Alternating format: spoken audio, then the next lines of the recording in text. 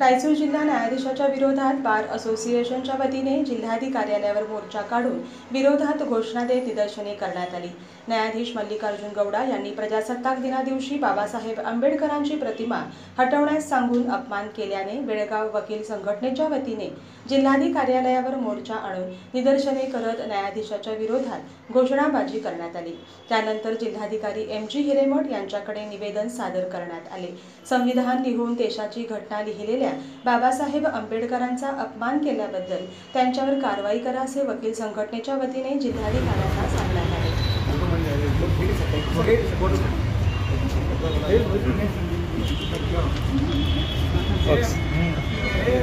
ಗಣರಾಜ್ಯೋತ್ಸವ ಬರ್ತೇನೆ ಅಂತ ಹಠ ಹಿಡಿದು ರಾಯಚೂರು ಜಿಲ್ಲಾ ಹಾಗೂ ಸತ್ರ ನ್ಯಾಯಾಧೀಶರಾದಂಥ ಮಲ್ಲಿಕಾರ್ಜುನ್ ಗೌಡ ಅವರು ಬಾಬಾ ಸಾಹೇಬ್ ಅಂಬೇಡ್ಕರ್ ಅವ್ರ ಸಬಲ ಆರ್ಡಿನೇಟ್ ಜಡ್ಜ್ ಅವರಿಗೆ ತೆಗಿಯಕ್ಕೆ ಹಚ್ಚಿ ಹೋಗಿ ನಂತರನ ಆಮೇಲೆ ಗಣರಾಜ್ಯೋತ್ಸವ ಮಾಡಿರ್ತಾರೆ ಇದಕ್ಕಾಗಿ ಬಾಬಾ ಸಾಹೇಬ್ ಅಂಬೇಡ್ಕರು ಹಾಗೂ ನಾವು ದೇಶದ ಸಂವಿಧಾನ ನಾವೇನು ಅನ್ಕೊಂಡಿವು ಎಲ್ಲ ದೇಶದ ಜನತೆಗೆಲ್ಲ ಅವಮಾನ ಆಗೈತೆ.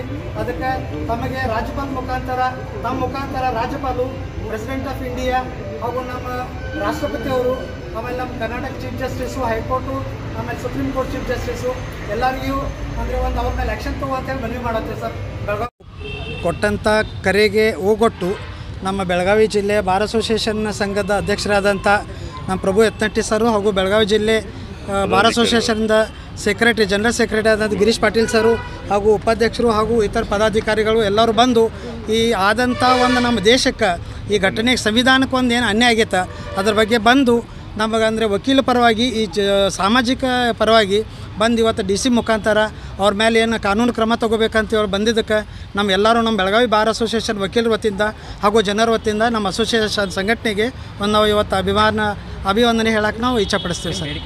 ನಮ್ಮ ಬೇಡಿಕೆ ಅಂತಂದರೆ ಆ ಮಲ್ಲಿಕಾರ್ಜುನ್ ಗೌಡ ಅವರೇನು ಇಪ್ಪತ್ತಾರನೇ ಜನವರಿ ಮೊನ್ನೆ ರ ಪ್ರಜಾಸತ್ತಾಕ ದಿನ ಬಾಬಾ ಸಾಹೇಬ್ ಅಂಬೇಡ್ಕರ್ ಅವ್ರ ಫೋಟೋ ತೆಗೆದು ಕೂಡಲೇ ನಾ ಅಲ್ಲಿ ಇದಕ್ಕೆ ಗಣತಂತ್ರ ದಿವಸ ಮಾಡಕ್ಕೆ ಬರ್ತೀನೋ ಅಂತೇಳಿ ಏನು ಕೆಟ್ಟ ಶಬ್ದ ಹೇಳಿ ಸಂವಿಧಾನಕ್ಕೆ ಅವಮಾನ ಮಾಡ್ಯಾರು ಅವ್ರದ್ದೇ ಅಂತ ಅವ್ರ ಮೇಲೆ ಅಟ್ರೋಸಿಟಿ ಆ್ಯಕ್ಟ್ ಪ್ರಕಾರ ಅವ್ರ ಮೇಲೆ ಕೇಸ್ ಹಾಕಬೇಕು. ಹಾಗೂ ಅವ್ರನ್ನ ಜಡ್ಜ್ ಪದದಿಂದ ಅವ್ರನ್ನ ಉಚ್ಚಾಟನೆ ಮಾಡಿ ಎಲ್ಲಿವರೆಗೆ ಸುಪ್ರೀಂ ಕೋರ್ಟು ನಮ್ಮ ಚೀಫ್ ಜಸ್ಟಿಸ್ ಆಫ್ ಹೈಕೋರ್ಟ್ದವರು ಎನ್ಕ್ವೈರಿ ಕಮಿಟಿ ಮಾಡತ್ತಾರ ಆ ಕಮಿಟಿ ಆಗಿ ಅದರಿಂದ ಏನು ಬರೋ ನಿರ್ಣಯ ಬರೋ ತನಾರೆ ಅವ್ರನ್ನ ಸಸ್ಪೆಂಡ್ ಮಾಡಿ ಅವ್ರನ್ನ ಡಿಸ್ಮಿಸ್ ಮಾಡಬೇಕಂತೇಳಿ ನಮ್ಮೆಲ್ಲ ವಕೀಲ ಕಡೆಯಿಂದ ನಾವು ಕೇಳ್ಕೊತಾ ಇದ್ದೀವಿ ಸರ್. ಅವರೆಲ್ಲ ಇದನ್ನು ಮಾಡಿ ಎನ್ಕ್ವೈರಿ ಮಾಡಿ ರಿಪೋರ್ಟ್ ಕೊಡಲಿಕ್ಕೆ ಆಲ್ರೆಡಿ ಈಗ ಆದೇಶ ಮಾಡಿದ್ದಾರೆ ಚೀಫ್ ಜಸ್ಟಿಸರು ಅದೇನು ಆದೇಶ ಬಂದ ಅದ್ರ ಅದಕ್ಕೆ ಏನಾಗ್ತೈತೆ ಅದನ್ನ ಅಲ್ಲಿ ನೋಡ್ಕೋಬೇಕಾಗತ್ತೆ. ಘಟನೆ ಬಗ್ಗೆ ಈಗ ಸಾರ್ವಜನಿಕವಾಗಿ ಯಾವುದೇ ರೀತಿಯಿಂದ ಅಭಿಪ್ರಾಯ ವ್ಯಕ್ತಪಡಿಸಕ್ಕೆ ಬರೋಂಗಿಲ್ಲ. ಅದು ಬೇರೆ. ನ್ಯಾಯಾಂಗ ವ್ಯವಸ್ಥೆ ತನ್ನದೇ ಆದಂಥ ಘನತೆ ಗೌರವಗಳನ್ನು ಇರ್ತೈತಿ. ಸಂವಿಧಾನ ಶಿಲ್ಪಿ ಅಂಬೇಡ್ಕರ್ ಅವರಿಗೆ ಯಾವುದೇ ರೀತಿಯಿಂದ ಅಗೌರವ ಆದಂಥ ಸಂದರ್ಭದಲ್ಲಿ ಅದನ್ನು ನ್ಯಾಯಾಂಗ ಇಲಾಖೆ ಸೂಕ್ತ ಕ್ರಮ ಕೈಗೊಳ್ತೈತಿ ತನಿಖೆ ನಡೆಸ್ತೈತಿ.